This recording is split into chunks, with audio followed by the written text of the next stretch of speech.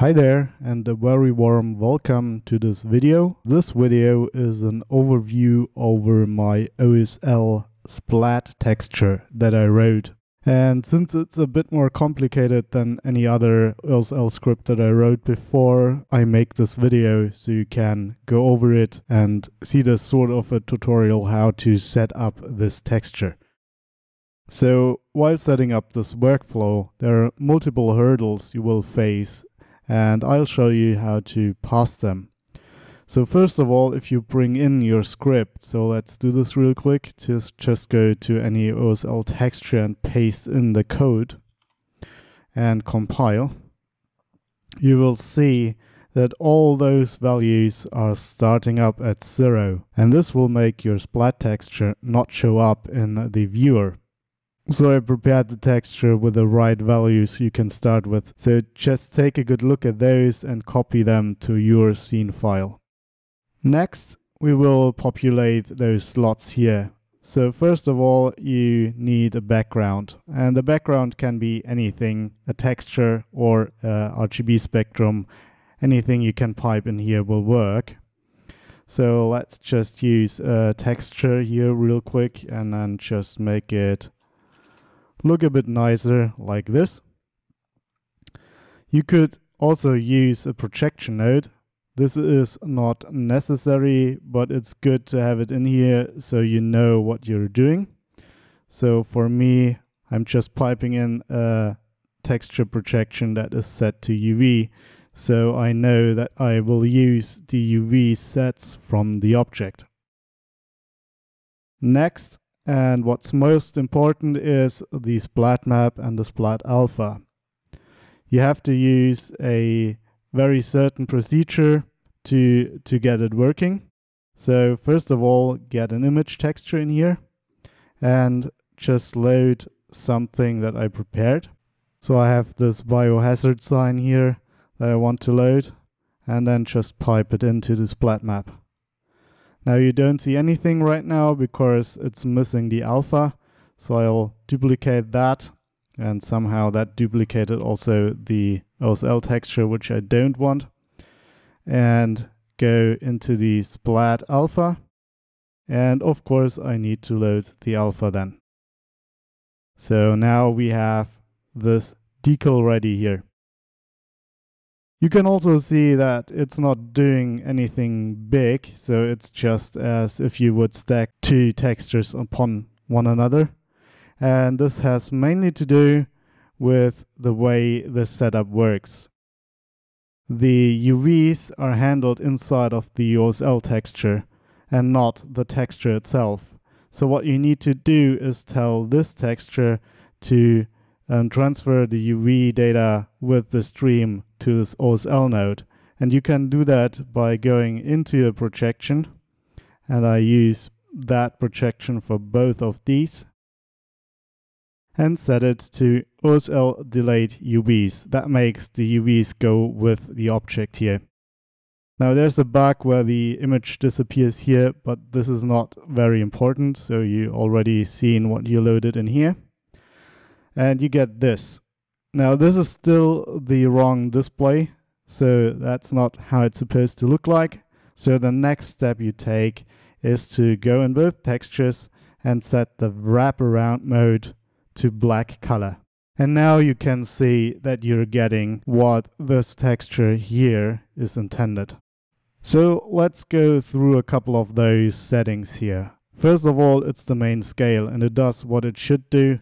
If you up the number, it scales everything smaller and you get more decals here. So let's leave it as 5 maybe.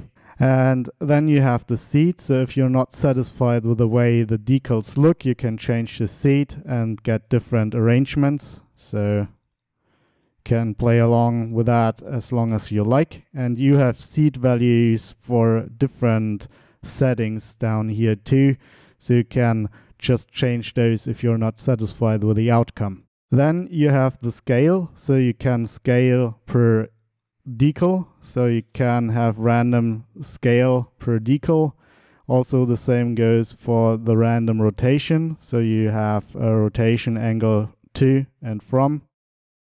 So you can say from 0 to 360. And then we have, oh, that's not 360, so 360. And then we have an angle step, which can be really nice too. So if you only want to rotate your um, decal by 90 degree increments, you can do that. So now it's just always um, turned 90 degree. Uh, it's not very uh, visible here because it's a triangle. But if you set it to 60, you can see that it's doing wh what it's supposed to do because every side of the triangle is 60 degrees offset. So you can see it's looking in 60 degree increments into both directions. All right. So then we have a brightness value slider. So you can slide your brightness up and down for certain decals or all of them by pushing both of those sliders down. Um, and there's also a random seed, so you can change the seed if you're not happy with the way the decals darken down. So let's just change the seed here. Then we have a hue variation, so you can change the hue of those decals, so everyone gets a different color. And then we also have a saturation that does the same thing so you can desaturate your decals. And last but not least, you have a transparency. So your alpha will then just change the transparency based on also a random value. So if I put that to zero here, you can see that some of the decals become transparent or more transparent. And you can change your seed here too. So other decals will become more transparent. Alright, so this is a rundown through the settings.